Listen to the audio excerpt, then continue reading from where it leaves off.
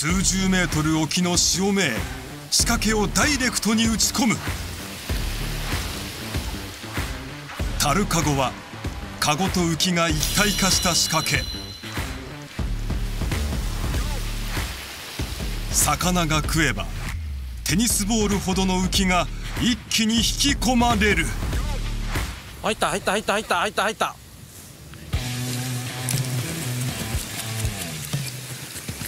なんか遠投しておったら何かかかりました。さあ何が上がってくるでしょうか。ああいいですね。イサキですね。磯から狙える魚が何でも食ってくるという楽しみスパッと入ったかと思ったらラインがギュッとこう引っ張られていくあの体感ショックですかね。あれは何とも言えない魅力の一つですね。昔から山陰地方に浸透していたタルカゴ長法は三点釣りとも言われ固定仕掛けになるためハリスが10メートルを超える扱いが難しい釣りでした。小島はタルカゴ歴42年の第一人者。道具も彼が改良して扱いやすくなりました。誘導することによって棚も取れる。そして新しいタルカゴは思いのまま蒔絵を放出でき挿絵と同調させやすい。道具の工夫であったりいうところがですね、まあ、一つ進化したところのポイントだと思います。山陰の人気重宝進化するタルカゴ釣り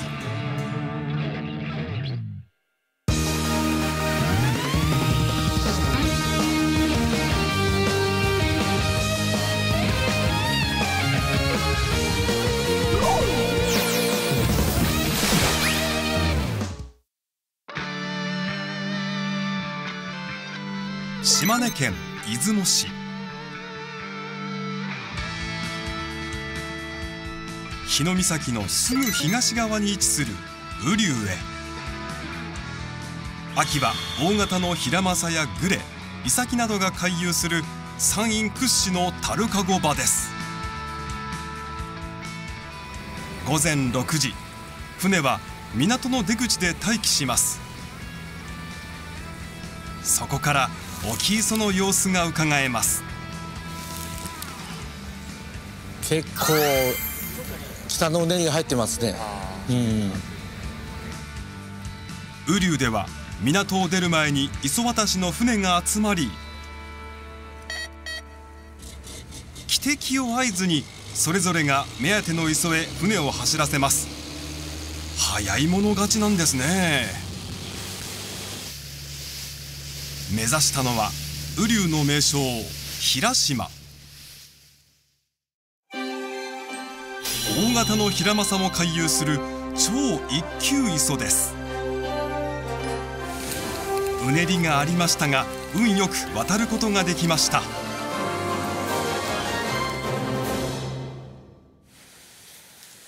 小島さんなぜ山陰ではタルカゴ釣りが人気なのでしょう？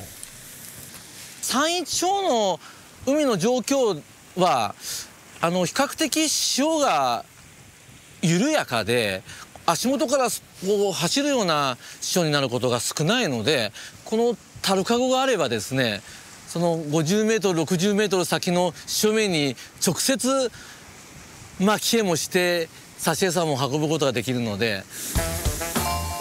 これがタルカゴ浮きとコマセのカゴが一体化したものです。これまでのタルカゴ3点釣りは深棚を探るときはハリスが長く扱いにくい。そのためハードルが高くてビギナーには難しい釣りでした。その3点釣りをより釣りやすく改良したのが新しいタルカゴ釣りです。それでは実際に見ていきましょう。鏡みたいになって波立ちさわさわっとあるところからちょっとこう点々とこうあのぼやっとこう変化が沖の方に出てますね。ああいうところをね狙い目でね。でこれタルカゴの釣りのね一つの真骨頂はねあのああいったところの潮目をダイレクトにピュッと言ってうんあいいとこ行きましたね。今まだ樽の中に小マセが入ってる状態なんですよ。抜くとパッと出るんですよ。数十メートル沖でも蒔絵と挿絵が同調する。そこが樽かご釣りの強みです。沖のポイントに魚を寄せて釣るので仕掛けを打ち返して蒔絵を入れていきます。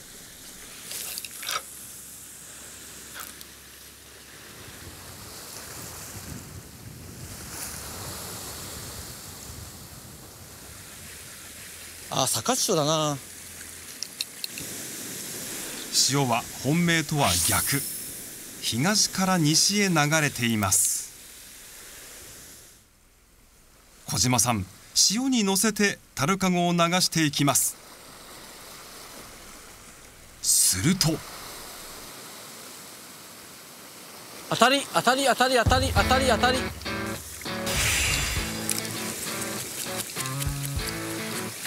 なんか遠投しておったらなんかかかりました。今竿に来ましたね。お？これイサキかな？イサキだったら型がいいぞこれ。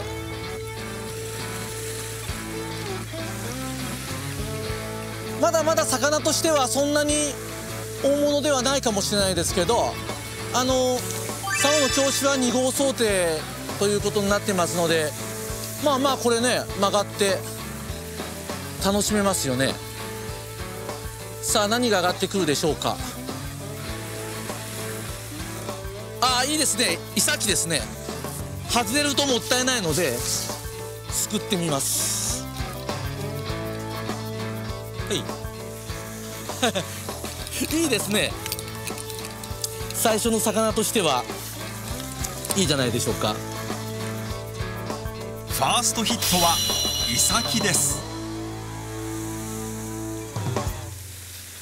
小島さんは上蓋のないカゴから蒔絵を簡単に放出していますが実は道具に秘密がありました。この金具をかけてこう着水後にスライドさせさせてキュッとこう釣り人が引っ張ると逆に水圧を受けて100%コマセが放出すると。樽かごは誘導式のパイプ天秤にジョイントされています。まず着水した樽かごは自立式で放出口が上を向くので蒔絵は樽の中に残ります。数秒待つとパイプ天秤が樽かごの下にスライドします。そして竿を煽ると樽かごが反転して中の蒔絵が放出され幸絵が同調するのです。好きなタイミングで一気に蒔絵を放出。ここも進化した部分で狙った棚で同調させやすくなるのです。小島さん今浮き止めとかついてるんですか？フリーに近いです。フリーフリーフリーです。ほもうほぼフリーです。パイプ天秤はチューブの中を道糸が通るので浅いところから深い棚まで自由に探れます。これでハリスの長さを変える面倒がなくなりました。今 2B 程度の水ベルがついてるのであれで実はちょっと棚が入っていってるんですよ。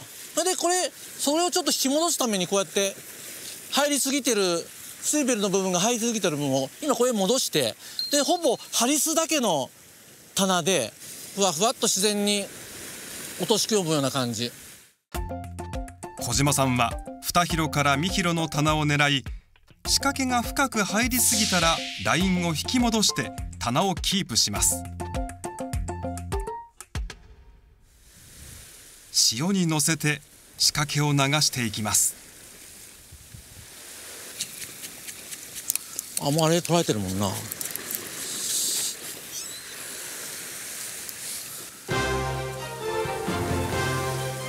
あ餌がないか。うちに当たりもないまま差し餌を取ってしまうんで。餌が持たない状況に。小島さんどう釣っていく？水ありて魚あり。魚ありて釣りあり。来た時よりも美しく魚の住める世界を。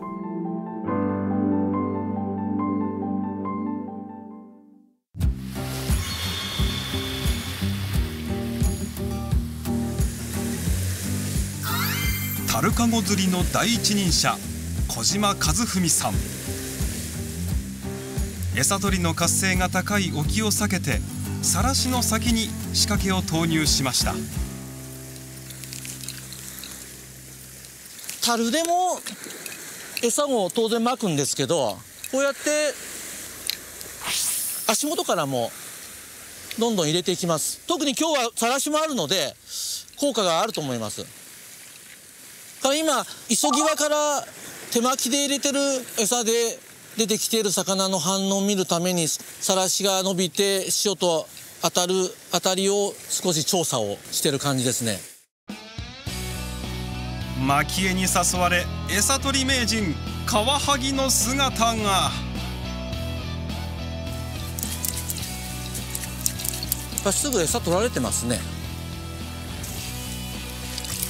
手前は餌が持ちません。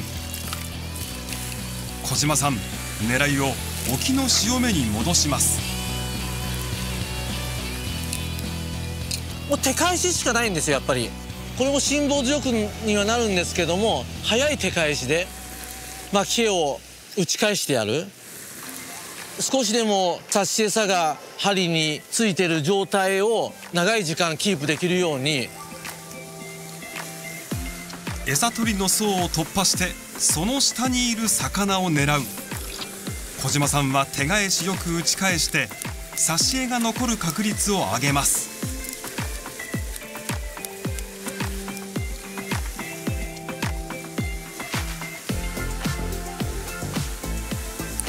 いい感じの潮がいってますけどね。こんなはっきりした潮が出るのは珍しいぐらいだけど。あ餌がついとるよ。これはチャンス。餌取りをかわして深棚の魚を狙えます。今餌がちょっと残って上が上がったので少しスイベルもいいいったまま自然にこうスイベルも棚に入れてやってみます。仕掛けは沖の潮目にダイレクトに投入。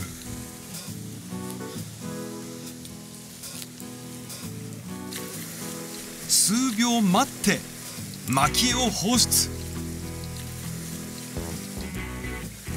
いい感じだけどな。張らず緩めずでラインを送るとスイベルのウエイトで仕掛けが深棚まで入っていきます。すると入ったね。入った入った入った。来ましたね。これ多分潔だと思うんですけど今やっぱ狙い通りあの少し棚を入れたら。だから今タルカゴを使ったあのスルスル釣りっていうですかね。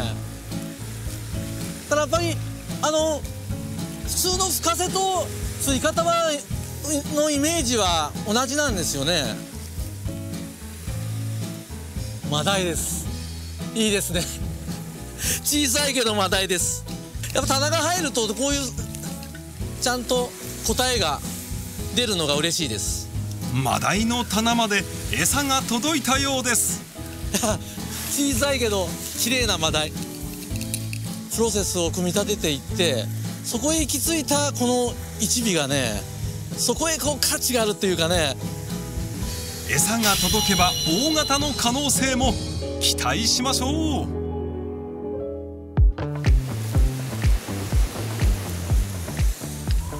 あ今いい変化がねあのちょうどカモメカモメがいるところいい変化ああいう変化をダイレクトに狙えるのがタルカゴの釣りのいいとこです。いい変化出てます。海の状況が変わってきました。右から左に流れる潮と左後方からの光潮がぶつかってよれができました。小島さん塩のよれをダイレクトに狙います。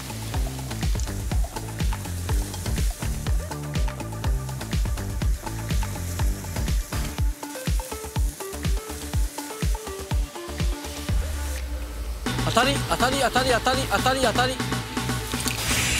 なんか食いましたよ。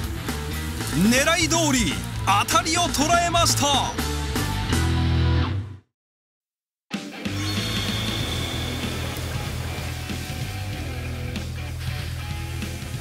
ここぞと狙った塩のよれで。当たり当たり当たり当たり当たり当たり。なんか食いましたよ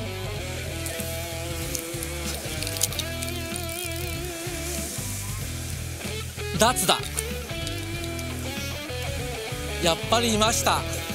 海はまだまだ海水温が高く脱が回遊していました。わあ今年はこれがすごく多くて。で水温が下がってきたのか活性が低くなってきて悪さするのが頻度が少なくなってきてるんですけどいましたねまだね。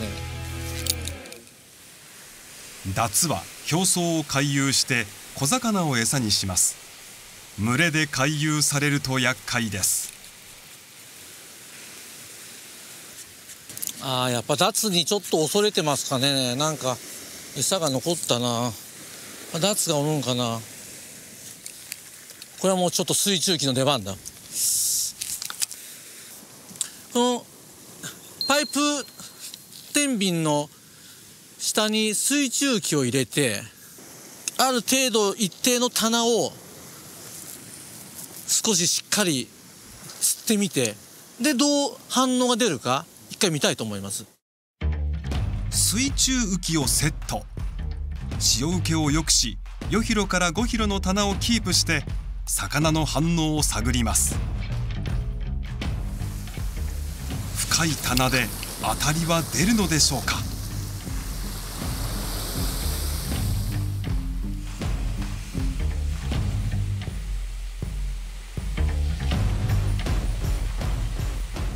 水ベルだけのもみと水中機使った時のこの糸のねもうもう糸がこう潮を受けてラインがスーッとこうもう入ってきますもんね。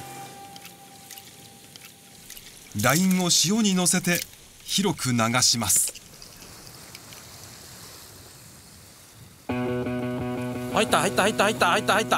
入ったぞ。さあ何か。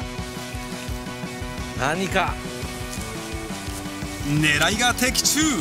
深い棚で当たりを捉えました。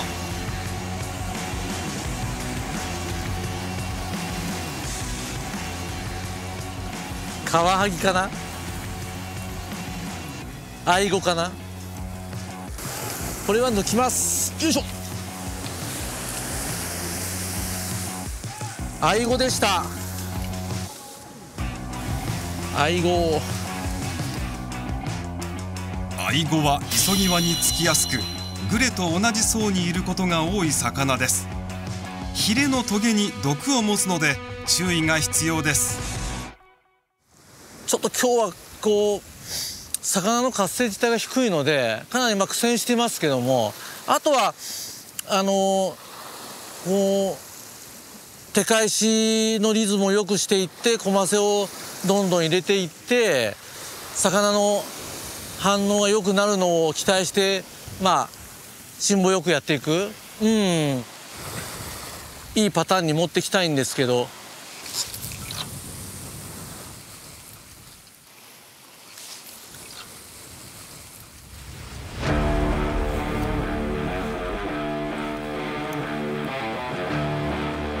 小島さん何度も打ち返して当たりを待ちます。いや入った入った。入ったぞ。入った。おっしゃ。なんか来たぞ。深棚でヒット。今度は何が食った？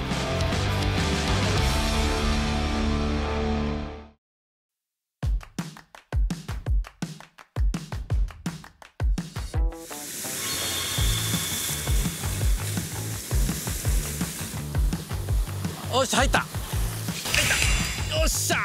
なんか来たぞしっかり深い棚で馴染んでヒットしました。あれで脱か。いやいい感じで入ったけどな。深棚にも脱が回っていました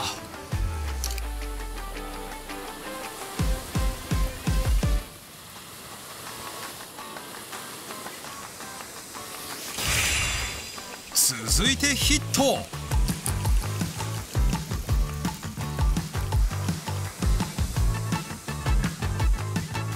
脱です。一旦脱が寄るとかわすのが難しくなります。いい変化かなと思っていくとやっぱそういうところにちゃんと脱もねあの待ち構えてんですよね。小島さん針上30センチに G2 の重りを追加しました。やっぱり脱すでに上向きに餌見てるんで。重りを打ってさらに深い棚まで早くなじませる作戦です。ちょっとね磯回りに魚が少ない感じがします。で思うような結果は出なかったかもしれないけどもこういう時もあるからいい時があってその時にまたこう何倍ものね喜びとして帰ってくるというか。あこれなんか魚だよ。あ魚魚は魚だけどダツじゃないと思うぞこれ重りを打って当たりを捉えました。グレかな？カワハギだ。あカワハギじゃないあのアイゴだ。まあ自然相手ですのであのいつもねあの恵まれた釣果っていうのはなかなか難しいところがあるかもしれませんけどもあいいとこに馴染んだなって言ったらスパッとこう入る。まあそれがね一連のねうんパターンでこれのがもう毎回のように出るようになればねそれは面白いです。それは面白いです。大物とは出会えずここでタイムアップ。小島さん大型は次の機会にお願いしますね。やられる方とか若い方はもっともっと新しい発想があると思うんでそれは新しい進化系としてですねどんどんどんどんあの挑戦してみていただきたいなと思います。はい、沖の潮目もダイレクトに狙えるタルカゴ今では道具の発展で誰もが簡単に楽しめるようになりました入った入った入った入った入った入った。入ったよっしゃなんか来たぞ。豪快な当たりダイナミックな引きを体感すればきっとやみつきになるでしょう。Get up on your feet, this is a shakedown.